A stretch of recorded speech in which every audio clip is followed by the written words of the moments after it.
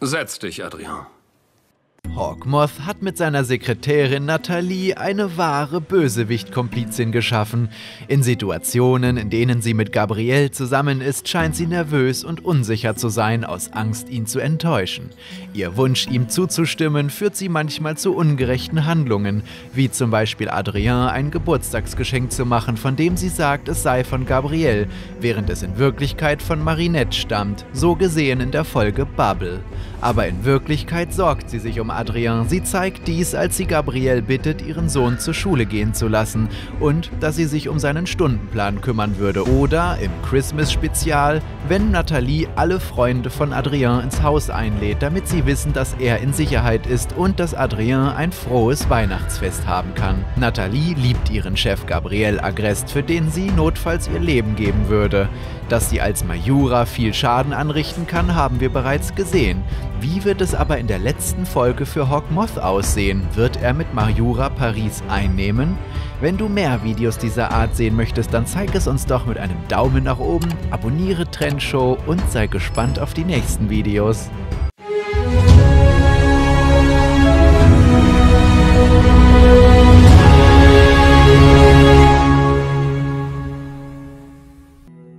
Die finale Episode. Es ist offensichtlich, dass Nathalie mehr Gefühle für ihren Chef hegt, als nur eine freundschaftliche Chef-Sekretärin-Beziehung zulassen sollte. Immer wieder wird deutlich, dass sie in Gabriel Agrest verliebt ist und alles für ihn tut. Nicht, weil sie ihren Beruf über alles liebt und ihren Pflichten gewissenhaft nachkommen möchte. Und auch nicht, weil sie etwa ein empathischer Mensch wäre. Wir haben gesehen, dass sie zwar höflich gegenüber anderen Menschen ist, aber sehr distanziert. Sondern vielmehr, weil sie sich womöglich insgeheim erhofft, dass ihre Taten eines Tages gewürdigt werden. Und damit hat Nathalie auch auf die ein oder andere Weise Erfolg. Denn Gabrielle Agrest schätzt seine Sekretärin und als diese durch das Pfauen Miraculous sichtlich geschwächt wurde, hat er sich ernsthafte Sorgen um Nathalie gemacht. Könnte Gabriel Agrest also auch mehr Gefühle für seine Sekretärin entwickelt haben? Könnte er insgeheim angefangen haben, seine geliebte Frau zu vergessen und sie in das Kapitel seiner Vergangenheit verbannt haben? Eher nicht. Die Fotos in der Villa Agrest und auch die Tatsache, dass Gabriel Emily immer wieder in ihrem gläsernen Sarg besucht, verdeutlichen, dass er seine geliebte Frau immer noch nicht vergessen hat und er sie vermisst. So sehr, dass er sie in die Gegenwart zurückholen möchte. Aber allein diese Tatsache muss nicht bedeuten, dass ihm Nathalie nicht auch ans Herz gewachsen ist. Es wäre sogar möglich, dass Gabriel seine Frau über alles liebt, aber trotzdem auch anfängt, für Nathalie Gefühle zu entwickeln. Denn wie wir wissen, kann sich niemand aussuchen, wie er gegenüber anderen Menschen empfindet. Vielleicht könnten ihm gerade diese zwiegespaltenen Gefühle in der finalen Episode in die Quere kommen. Wie könnte aber so ein Szenario aussehen? Solltest du wirklich Kate Noir sein, dann verwandle dich, Sohn, bitte! Komm schon, Adrien! In der Villa Agrest leuchtet in dieser Nacht bis zur späten Stunde das Esszimmerlicht. Paris ist in eine kalte Herbstnacht gehüllt und die Stimmen auf den Straßen vermindern sich von Sekunde zu Sekunde.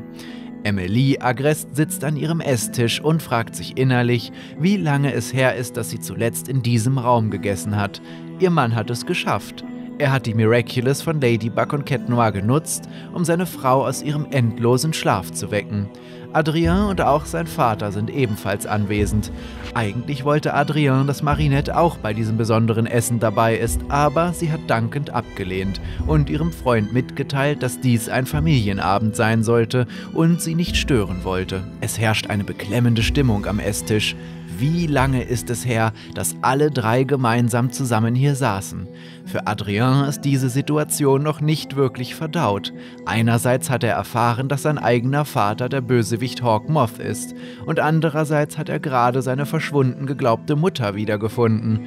Fast schon fühlt er sich schuldig. Zwar hat Adrien nie aufgehört, an seine Mutter zu denken und auch ein Bild von ihr als seinen PC-Hintergrund eingestellt, aber irgendwie kann er sich nicht so freuen, wie er es sich in Gedanken vorgestellt hatte.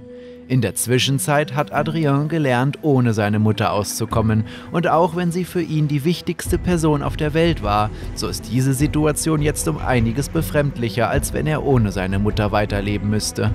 Adrien schweigt. Seine Eltern sehen sich an und können ihren Sohn verstehen. Dir reden, aber du warst so beschäftigt und ich habe immer das Gefühl, dass du nicht über sie reden willst, also...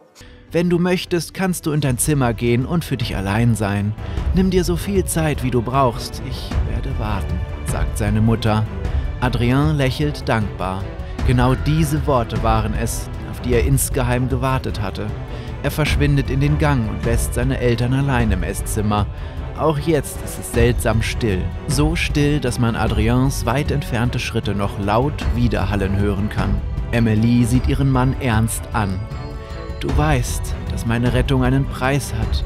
Gabrielle nickt. Jemand muss an meiner Stelle ins Koma fallen, betont Emily. Auch jetzt nickt Gabrielle ohne jegliche Emotion. Emily ist fassungslos.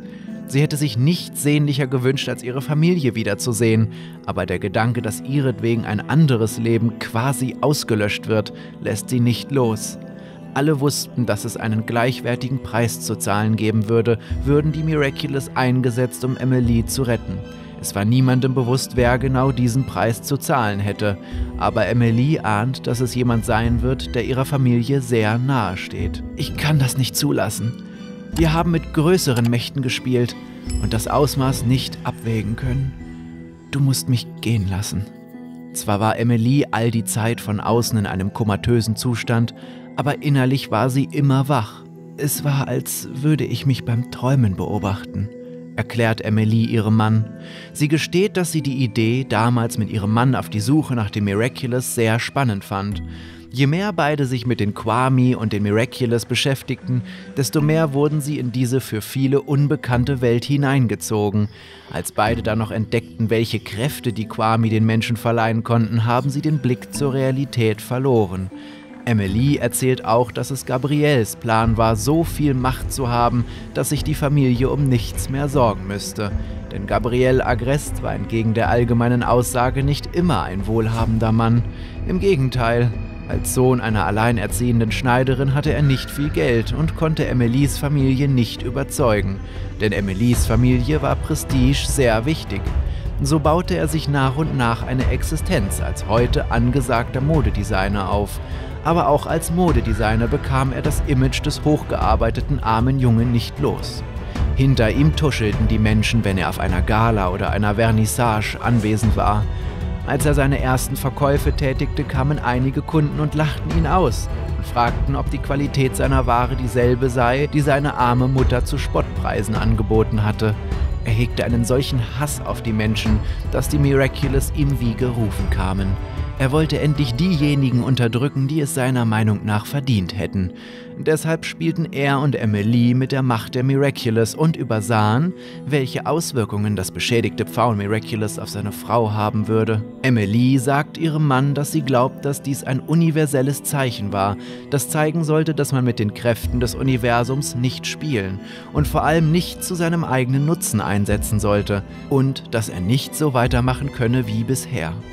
Sie habe Frieden geschlossen und sei bereit zu gehen. In diesem Moment kommt Nathalie in das Esszimmer. Es gibt ein Problem, sagte diese aufgebracht. Adrien sei in das Krankenhaus geeilt, weil Marinette plötzlich in der Küche bei sich zu Hause umgekippt und nicht mehr aufgewacht sei. Emily und Gabrielle sehen sich an. Siehst du, sagt seine Frau flehentlich, alles, was wir tun, hat Konsequenzen. Und ich lasse nicht zu, dass diesem Mädchen, das das ganze Leben noch vor sich hat, das gleiche passiert wie mir. Gabriel schweigt. Er wechselt einen warmherzigen Blick mit Nathalie und bittet sie mit einer Kopfbewegung aus dem Zimmer zu gehen. Emily versteht sofort. Du liebst sie, nicht wahr? Gabriel ist von dieser Frage schockiert und fängt an zu stottern. Schließlich seufzt er und sagt Emily, dass Nathalie immer für ihn da war und dass er in dieser ganzen Zeit ohne seine Frau sehr einsam war aber er hat Emily nie vergessen und sie auch nicht betrogen. Trotzdem gesteht er seiner Frau, dass seine Gefühle für Nathalie real sind, denn es wäre unsinnig, dies zu leugnen. Seine Frau kennt ihn besser als er sich selbst, auch wenn sie sich jahrelang nicht mehr gesehen haben. So kann sie immer noch jeden seiner Ausdrücke richtig deuten. Du weißt, dass du mich gehen lassen musst. Die Natur fordert ihr Gleichgewicht. Gabrielle erwidert bestürzt, ich kann nicht. Ich brauche dich. Daraufhin lächelt seine Frau und macht ihm deutlich, dass er die vergangene Zeit komplett ohne sie gelebt hat und dass er einen gesunden Sohn und eine nette Assistentin hat, die ihm neues Glück für die Zukunft versprechen. Aber Marinette ist nicht schuld an den Vergehen von Gabrielle und Emily. Denn Emily erkennt, dass sie genau wie er süchtig nach dem Miraculous gewesen ist und dass es nicht gerecht wäre, ein unschuldiges Mädchen für ihre Taten büßen zu lassen. Tut mir leid, aber ich muss deine Taschen durchsuchen. Da bist du ja. Sie sieht ihren Mann ein letztes Mal an und sagt ihm, dass es ein großes Geschenk war, noch einige Stunden mit ihm zu verbringen und dass sie nie vergessen würde, welch ein Schatz ihre Familie für sie ist. Sie küsst ihn ein letztes Mal und verlässt anschließend in schüchternen Schritten die Villa der Agrests. Gabriel bleibt allein im Esszimmer zurück. Er erkennt, dass er seine Frau gehen lassen muss, weshalb er ihr nicht nachrennt, sondern nachdenkend auf die Wände starrt. All sein Hass ist verflogen. Seine Gier nach Macht hat sich in einem Moment aufgelöst. Es ist, als hätte die letzte Begegnung mit seiner Frau seine inneren Wunden geheilt. Auch wenn diese Begegnung die letzte sein würde. Aber was würde seine Frau nun tun? Er rennt ihr nach, denn er möchte und kann sie nicht verlieren. Draußen peitscht der Wind und die kalte Herbstluft lässt Gabriels Haut erzittern. Noch nie hat er sich so lebendig gefühlt. Marinette erwacht am nächsten Morgen im Krankenhaus. Die Ärzte konnten erst keine Ursache für ihren komatösen Zustand finden und sind umso überraschter, dass Marinette scheinbar unbeschadet wieder aufwacht. In der Zwischenzeit ist Nathalie im Krankenhaus aufgetaucht. Als Adrien, der die ganze Zeit im Krankenhaus geblieben ist, bemerkt, dass Marinette erwacht, ahnt er, dass dies etwas mit seiner Mutter zu tun haben muss. Sie zieht Adrien zu sich und sieht ihn ernst an. Es tut mir leid, Adrien, aber bevor sie es ihm sagen kann, ertönt aus dem Fernseher des Krankenhauses eine Eilmeldung. Eine blondhaarige, mit 30-jährige Frau habe sich in die Seine gestürzt. Dabei hätte der Fischer, der sie am Morgen fand, noch nie eine solch schöne Frau gesehen. Seltsam war, dass die Frau ein Lächeln auf ihren Lippen hatte. Es war, als hätte sie endlich Frieden gefunden, so der Fischer. Adrien ist sprachlos. Nathalie nimmt ihn in den Arm und er fragt sie, wo sein Vater sei.